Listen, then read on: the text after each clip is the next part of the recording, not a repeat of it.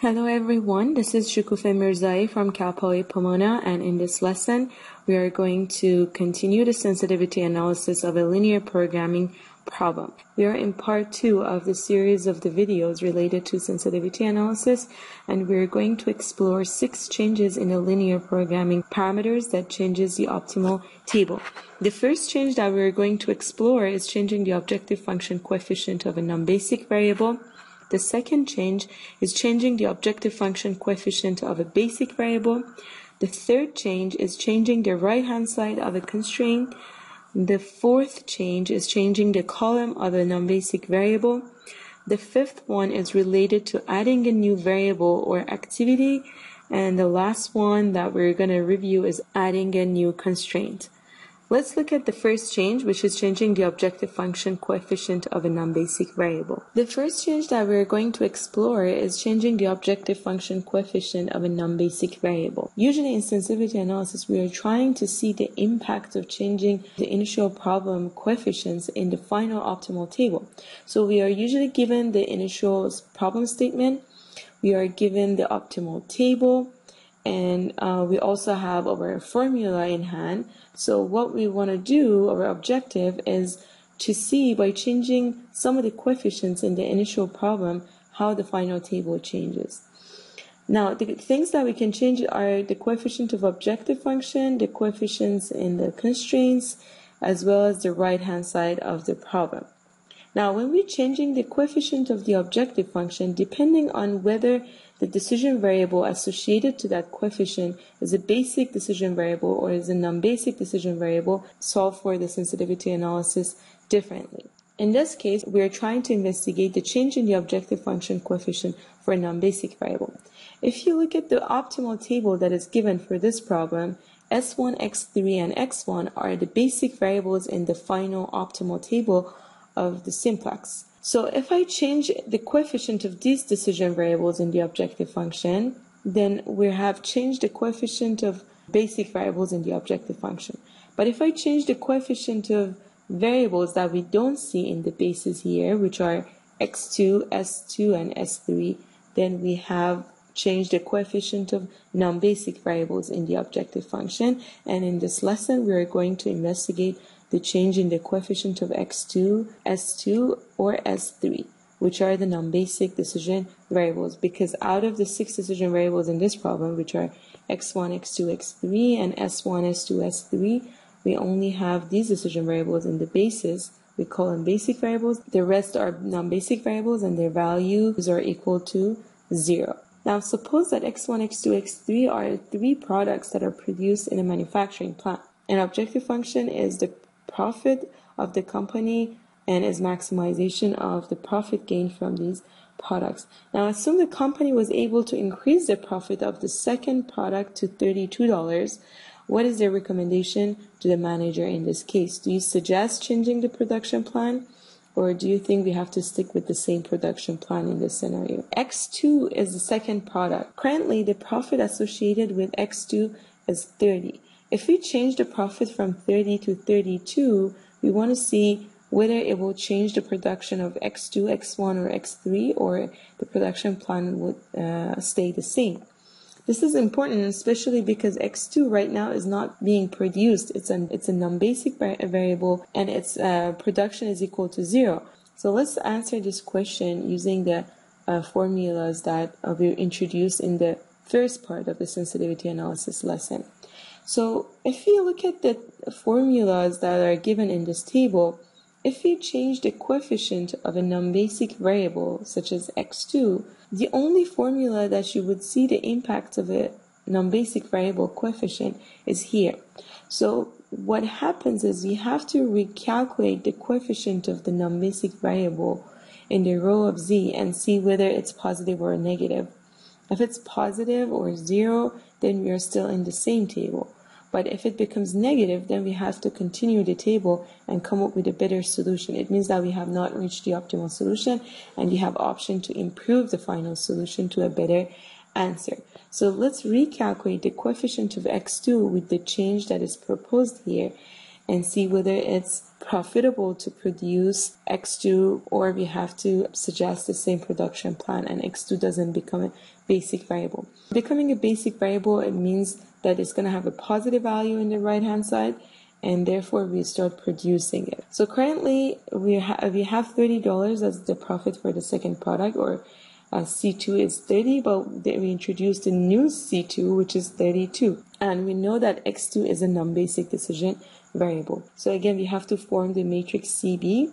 If you recall, CB is the coefficient of basic variables in the objective function and I keep the order of the basic variables as it's shown here in the final table and find the related coefficient of S1, X3 and X1 in the objective function. If you remember, we introduced uh, the coefficient of S1 in the objective function is 0, for X3 is 20, and for X1 is 60. That's how we form this XBV and uh, the, the, its associated coefficients. Now, the second part of this formula is B inverse A related to x2 because we're solving for x2 but the b inverse a it's already calculated in the the final table so remember we have b inverse aj here so in fact the column under x2 here it's the b inverse multiplied by this vector so we don't need to calculate that part we can just copy from the final table this vector that is given here. So we have CB B inverse AJ. Now the, uh, the, the rest is CJ.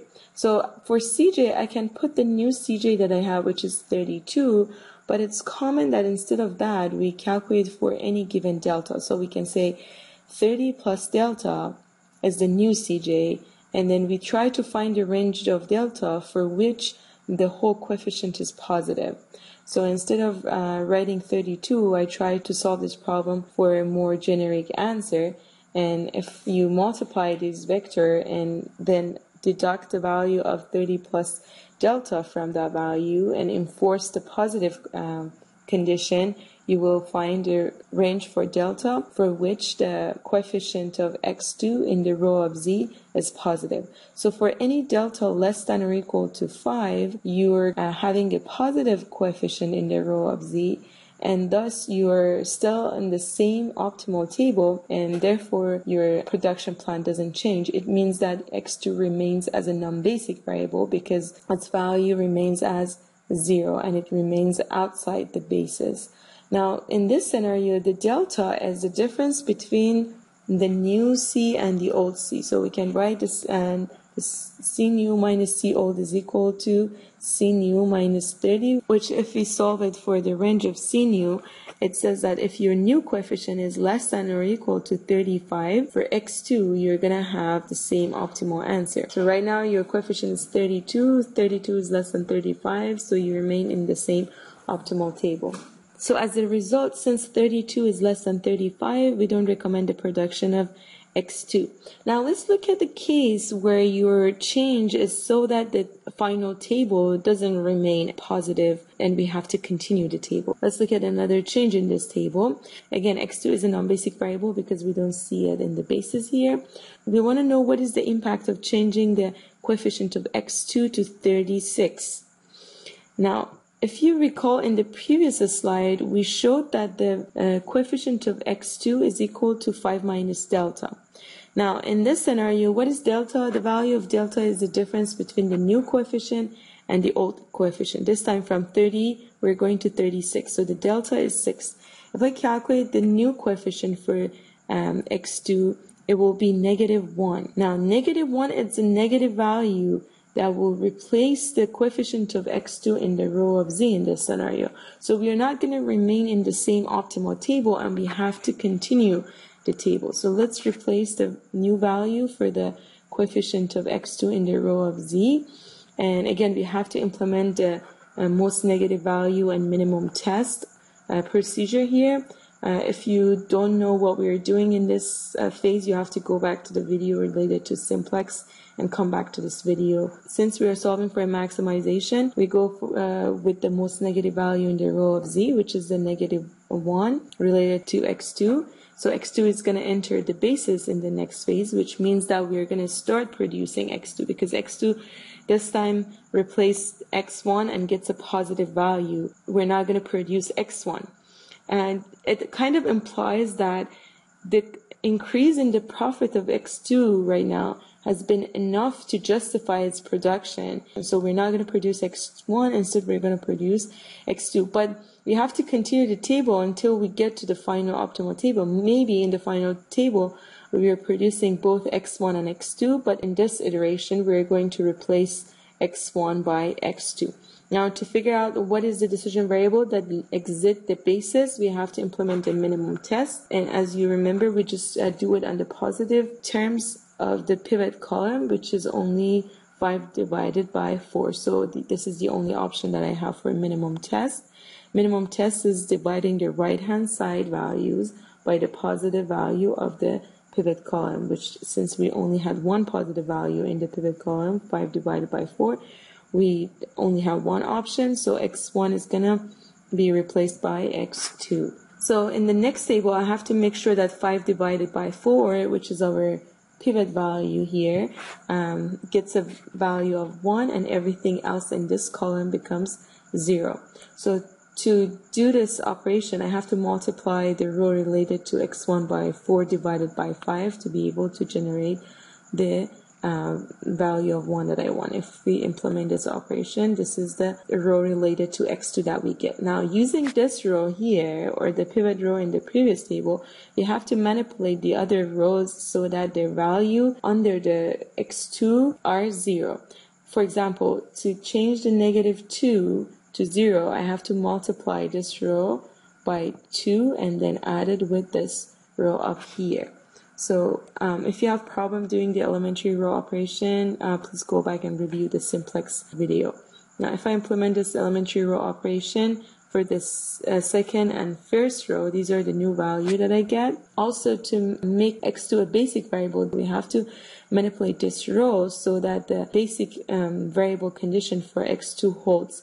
So it means that we have to change negative 1 this time to 0, not the value of 5 this is the new row of z that we have to change. So if I want to uh, change the negative 1 to 0, I have to simply add these two rows because one is the pivot row here and this one is the row of z. If you just add these two rows, you're able to generate 0 in the row of z for the variable x2. Now since everything at the uh, in the row of z is positive or zero, we have reached the optimal table and whatever it's outside the bases, our non-basic variables and their value is zero. In this case, we have x1, s2, and s3 that are outside the bases and their value is zero. For the rest, their value is equal to the right hand side.